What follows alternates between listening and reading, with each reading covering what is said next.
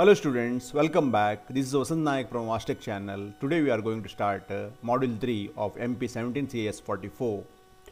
In this, uh, you will be going to study signed number arithmetic operation, string operations, uh, then memory interfacing and other than that 8255 programmable peripheral controllers. First we will see signed number arithmetic operation. So numbers used could be positive or negative. We know we can use either positive number or a negative number in a operation. Computer must be able to accommodate such numbers. Our computer will differentiate such numbers by means of uh, significant bit, uh, most significant bit. uh, that is, if the MSB is uh, positive, MSB is positive, the number is a negative number. MSB is uh,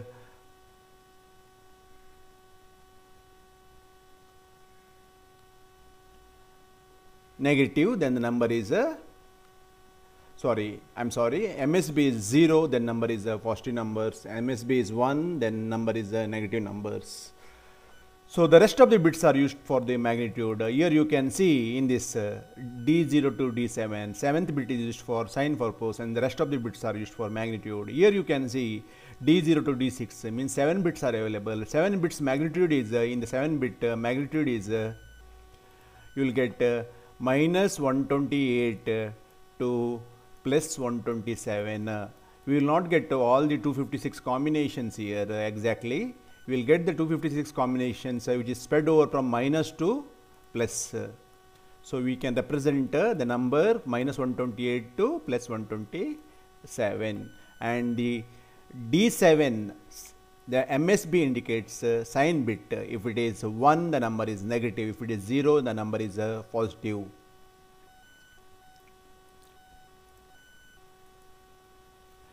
So now you see just uh, how we can represent uh, uh, minus 5 inside the computer. You can see here, first you represent 5, first you represent 5 in uh, normal binary form in 8 bit format then take the 2's complement uh, sorry 1's complement then take the 2's complement add 1 to that one to take the 2's complement then this is the FBH is nothing but uh, representation of minus 5 how you represent minus 34H uh, so minus 34H uh, first represent is a binary takes 1's complement takes 2's complement uh, this is the representation Similarly, minus 12810, minus 12810, uh, if you try, you will get uh, this one. Uh, this is not 0, minus 0, this is minus 128. Don't think like here it is a sign bit is uh, 1, this is minus 0. No, it is minus 128. Uh, this is minus 128 in a sign, uh, this one, ne negative representation.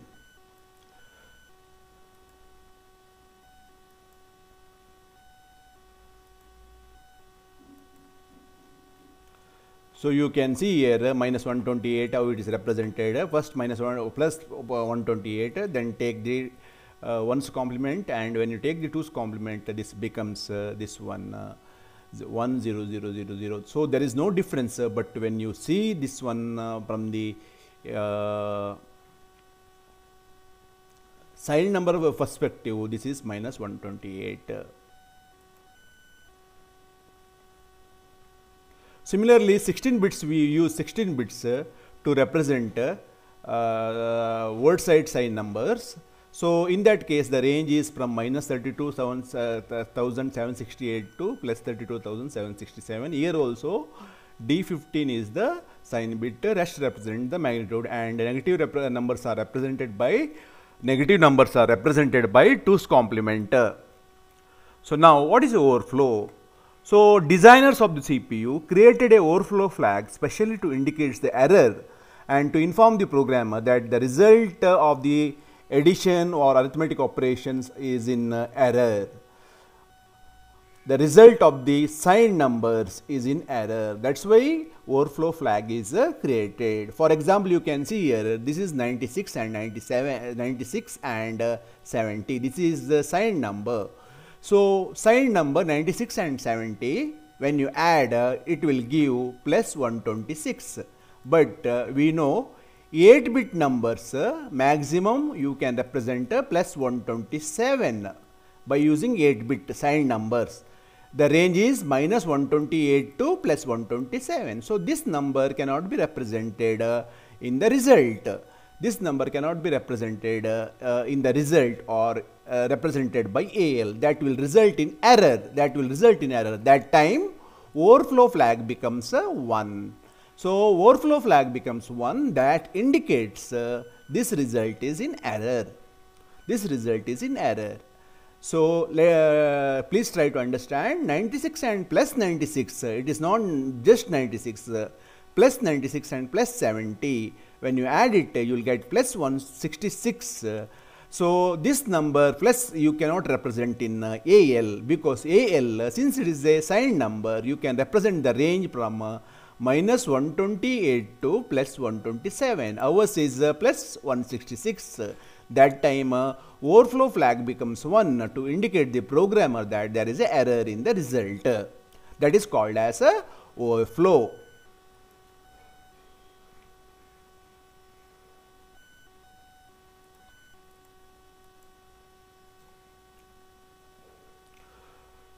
So you can see here one more uh, this one example minus 128 and minus 2 that becomes minus 130. Once again you see here uh, the registers are used 8 bit. Uh, so what is the range of 8 bit operation signed, uh, signed number operation this is the negative number. So that is the range is as I said the range is minus 128 to minus 128 to minus 1 uh, sorry plus 127 so here our value is minus 130 that cannot be represented. That cannot be walled by DL register while adding. So this results in uh, error. This error is indicated by overflow flag. So overflow flag will tell the uh, programmer that there is error in the uh, uh, result. That is the number is out of range number is in the out of range stage. So, this is the uh, indication of the overflow flag. One more thing you can see here minus 2 and minus 5. When you add minus 2 and minus 5 it is minus 7. So, minus 7 uh, uh, in 2's complement is uh, F9H. You can see here minus 7 in 2's complement is uh, F9H. So, first you have to represent minus 2 in 2's complement, uh, minus 5 in 2's complement and finally this one. Uh, so, here it is the you will get answer F9H. F9H is the indication for minus 7 in 2's complement. Uh, this is correct. Uh, so, the correctness is also indicated by OR flag. Overflow flag is 0. That means uh, the result is correct. sign flag is 1. That means the result is negative.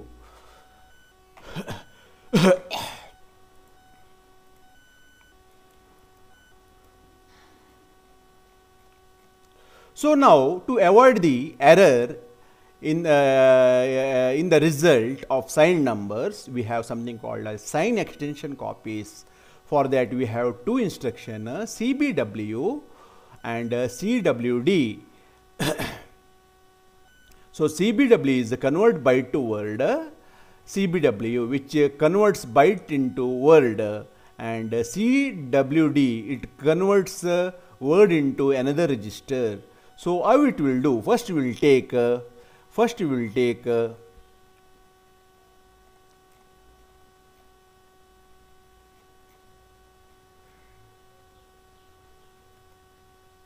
first we will take 4096 number to when you use this number to avoid the error in this number in the later stage uh, while doing any arithmetic operation, uh, it is better to convert this number first into uh, word. So how to convert this number into word? Just see the MSB of this number. MSB of this number is, uh, this since this is a positive number, MSB of this number is uh, 0.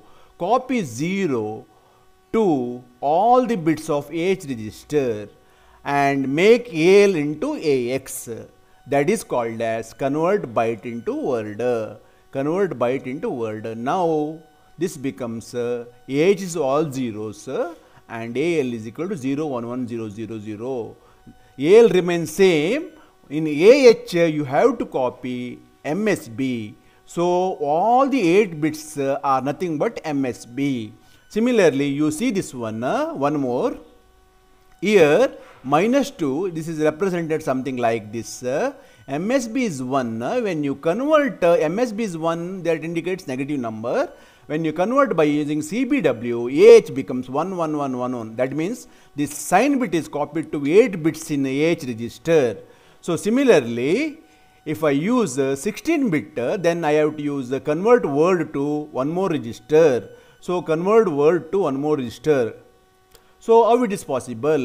In this case, in this case, you have to copy the sign bit that is D15, D15 into DX register. For example, here the number is given 260, here the number is given 260 260 you convert into hexadecimal that time this becomes uh, 104 so 104 is represented some something like this here.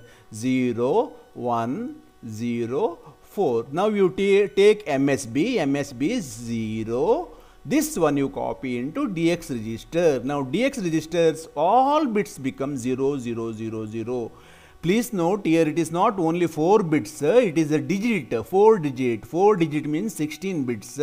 So 16 bits becomes 0, 0, 0, 0. So in this way we convert uh, uh, AX register into DX register in case of 16 bit, in case of 8 bit AL into AH.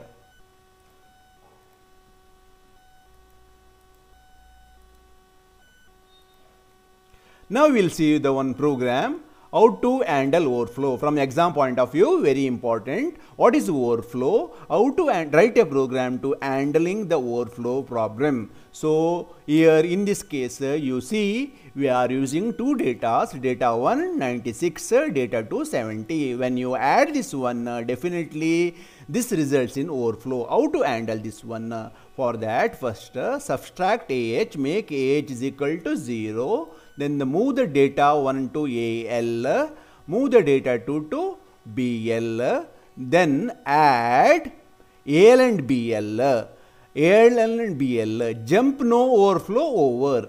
For since in this problem, uh, in this program, we know 96 and 70.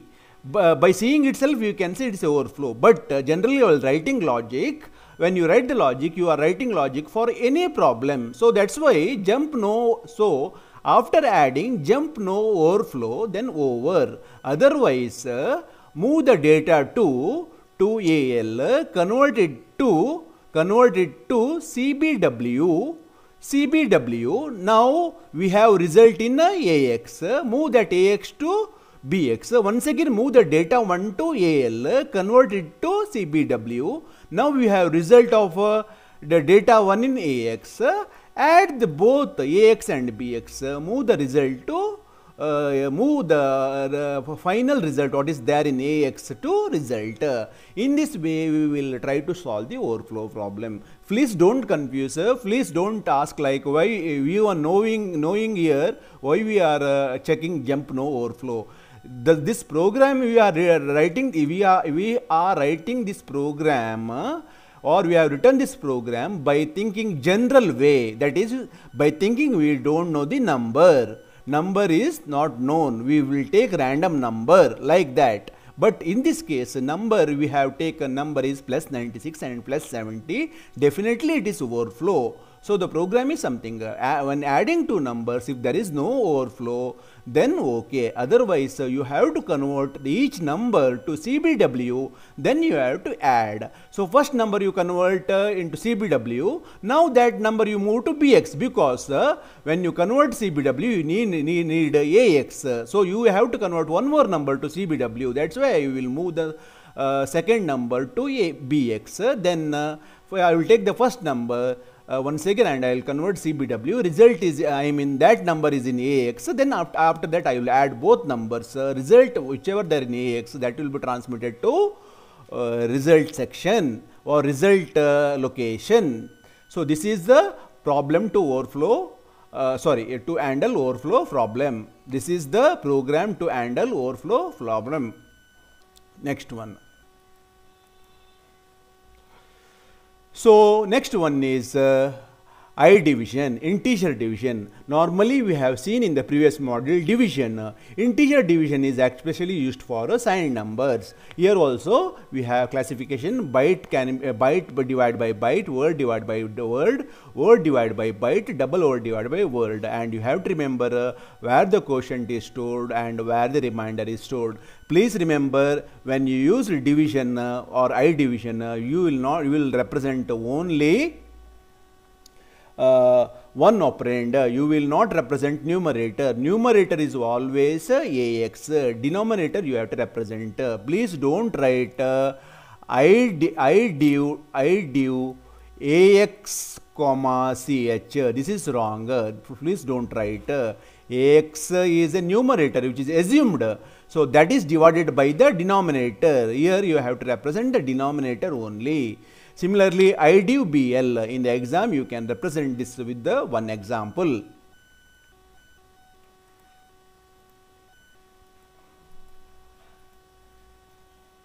So now find the average temperature one important program. Average temperature the temperature is in positive and negative numbers are given uh, in degrees. So you have to find the average temperature and you have to store the result so average and you have to store the result. So here you can see sign data one location. So first one is the sign data one location where uh, all these data are uh, type DB and is the sign numbers. Then uh, origin I am going to store the average temperature. Reminder I will going to store in one more location when you find the average you will get decimal value that will be stored in the other uh, decimal or reminder you will store in the other location. So first one is a dot code here initialization then take numbers here 9 numbers are there. Then uh, clear the BX register first uh, clear the BX registers. Then move the offset address of uh, uh this one sign data into SI copy the number to AL register, then convert that number because it's a sign number, convert that number. Uh, when AL is converted to AX, uh, then copy AX, copy AX,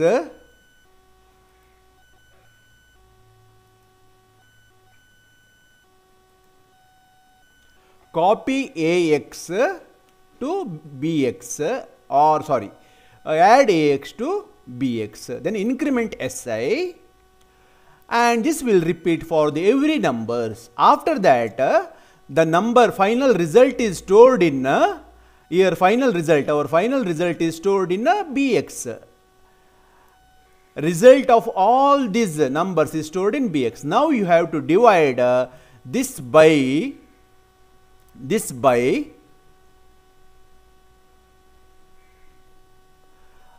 9. So, let me move first 9 to AL and convert this one also this one also CBW because you want to divide this one uh, with the AX uh, because uh, otherwise uh, it is better to convert uh, this number this number also to CBW then uh, move AX into uh, 2cx, ax contains average and uh, bx contains uh, remainder. Then after that, uh, after that, uh,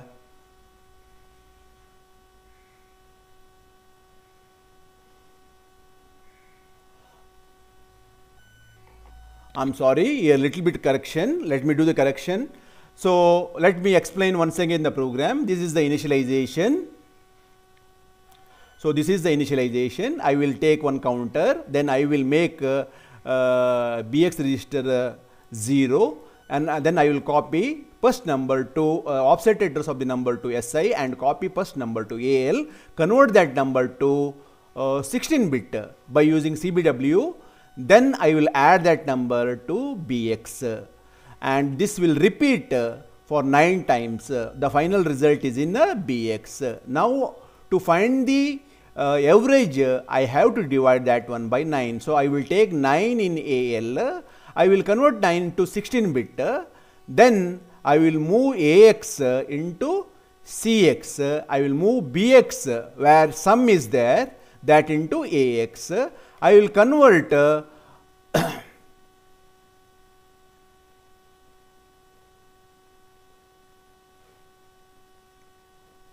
convert uh, this uh, into uh, convert word into uh, this one uh, double it I can say. Then I will divide ax ax by cx. What is there in the cx?